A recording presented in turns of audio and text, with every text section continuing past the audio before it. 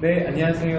안녕하세요. 네, 간단하게 자기소개 부탁드릴게요. 어, 저는 연세대학교 경영학과를 나왔고 이번에 어, 롯데그룹 공개 채용에 합격하게 된 조유담이라고 합니다. 네, 안녕하세요. 저희 트러스트는 어떻게 알고 오셨어요? 어, 제가 좀 장기 취준을 하다 보니까 조금 혼자 힘으로는 조금 어렵다고 생각을 해서 직접 인터넷에 검색을 해서 알게 돼서 오게 되었어요. 음, 뭐 어떤 것들을 좀 같이 배웠어요?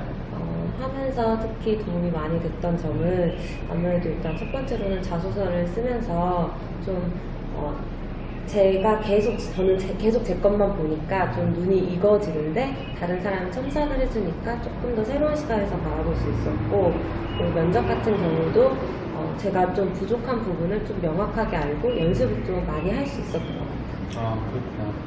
알겠습니다. 그 합격을 축하드리고 혹시 합격한 소감 잠깐 말씀해 주신다면? 어, 제가, 음, 어, 네, 음, 좀 오랫동안 취준을 하다가 이제 이번에 합격을 하게 돼서 좀 마음이 좀 많이 좋고 편한 것 같아요.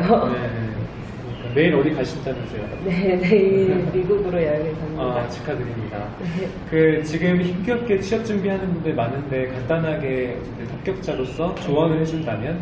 어, 음, 사실 취업을 준비하는 단계가 쉽지가 않고 되게 힘든데 좀 마음을 굳게 먹고 하다 보면은 언젠가는 그 60억 인구 중에 어디에는 자기 자리가 있을 거라고 생각을 해요.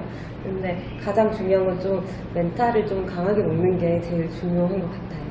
그렇네요. 알겠습니다. 잘 성장하시고 네. 또 같이 봐요. 네. 네, 감사합니다. 감사합니다.